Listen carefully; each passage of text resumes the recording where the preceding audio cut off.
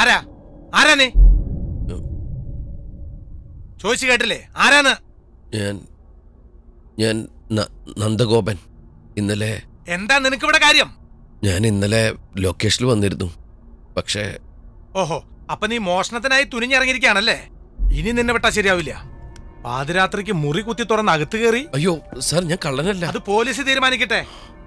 എന്നാ സാർ പോലീസിനെ വിളിച്ചോ? അവർ കൊണ്ടുപോയി തല്ലിക്കോട്ടെ. പക്ഷേ അതിനു മുമ്പ് ഞാനൊന്ന് പറഞ്ഞോട്ടെ? എന്നെ വിശ്വസിക്കണം സാർ. ദിവസം തൊണ്ണൂറ് രൂപയ്ക്ക് മംഗലാപുരത്ത് ഒരു ഓട്ടു കമ്പനിയിൽ ജോലി ചെയ്യുന്നവനാണ് ഞാൻ. പലപ്പോഴും ശമ്പളം വരെ കിട്ടാറില്ല. പട്ടിണി കിടന്നിട്ടുണ്ട്. പക്ഷെ ഒരു മണി അരി പോലും ഇതുവരെ ഞാൻ മോഷിച്ചിട്ടില്ല എനിക്ക് ആ പണി അറിയില്ല സാർ. അതാണോ എന്റെ പ്രശ്നം? അല്ല. വർഷം രണ്ടായി.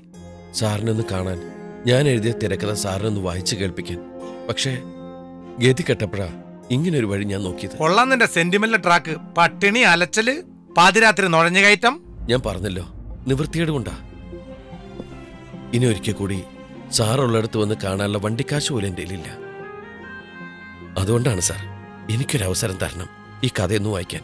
ഞാൻ സാറിന്റെ കാൽ പിടിക്കാം. എന്താ ഈ കാണിക്കുന്നേ? അതൊന്നും വേണ്ട. എന്താ വെച്ചാ വേം പറ. കാലത്ത് എനിക്ക് ഷൂട്ടിന് പോകാനുള്ള.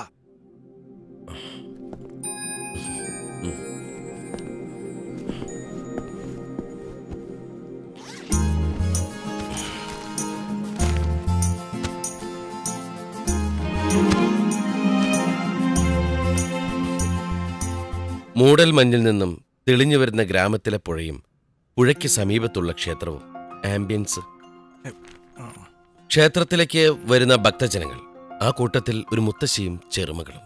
അവർ പാലം കടന്ന് ക്ഷേത്രമുറ്റത്തെത്തി. ഭക്തിസാന്ദ്രമായ അന്തരീക്ഷത്തിൽ ഭഗവതിയുടെ മുമ്പിൽ അവർ മനം നിറഞ്ഞു നിന്ന് പ്രാർത്ഥിച്ചു.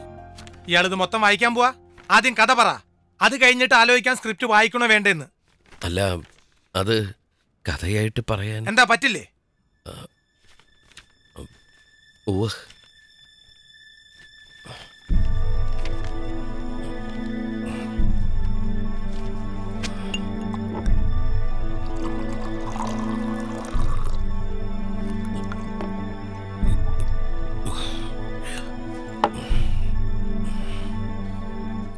ഇതൊരു ഗ്രാമത്തിന്റെ കഥയാണേ.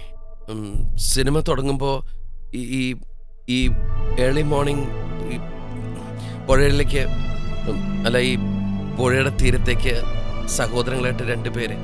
ശരിക്കും ഇതൊരു കുറച്ച് ജീവിതം നഷ്ടപ്പെട്ട കുറച്ച് ഈ ഈ ആൾക്കാരുടെ കഥയാണ് അങ്ങനെ താനെന്റെ രാത്രി കയറി വന്ന ആളെ പട്ടം കളിപ്പിക്കാ?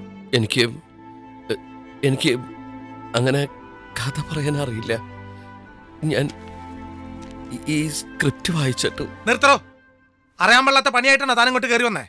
ഓരോന്ന് ഇറങ്ങിക്കോളും ഓടുന്നും കമ്പനിന്നും കഥാന്നും പറഞ്ഞ് മനുഷ്യനെ മെനക്കെടുത്താൻ. ഇറങ്ങിപ്പോടോ. തന്നോട് പറഞ്ഞ പോകാൻ.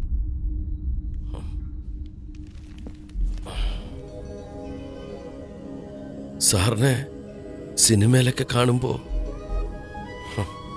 ജീവിതവും സിനിമയും രണ്ടാണെന്ന് എനിക്കിപ്പോൾ മനസ്സിലായി. പിന്നെ സിനിമയിലെ പോലെ തന്നെ ജീവിക്കണോ ഞങ്ങൾ? അതല്ല.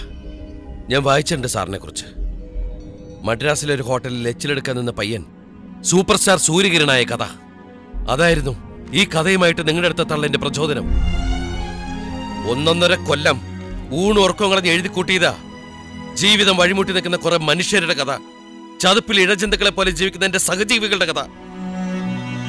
എച്ചിലെടുത്ത് ജീവിതം തുടങ്ങിയെന്ന് ചെണ്ടോട്ടി പറഞ്ഞുകൊണ്ട് നടക്കുന്ന നിങ്ങൾക്ക് എന്നെ പോലെ ഒരാളുടെ കഥ കേൾക്കാൻ കഴിഞ്ഞില്ലെങ്കിൽ പിന്നെ ഏത് സൂപ്പർ താരത്തിന് കഴിയും സാർ. ഇനി മേലിന്റെ മുമ്പിൽ കണ്ടുപോരുത്. ഉവ്വ. എല്ലാം മതിയാക്ക. ഈ വിഴുപ്പും ചുമന്നുകൊണ്ടുള്ള അലച്ചിൽ ഇവിടെ കൊണ്ട് അവസാനിപ്പിക്കുക. ഈ ഭൂമി നിങ്ങളുടെ സാറേ. ഞങ്ങളെ അതിക്രമിച്ചറിഞ്ഞവരാ നിങ്ങളുടെ സുഖങ്ങൾക്ക് വേണ്ടി മാറി തരേണ്ടവരാ. പോയിക്കോളാം. അതിനു മുമ്പ് ദാ ഇത്. ഇതിവിടെ ഉപേക്ഷിക്കുക ഞാൻ.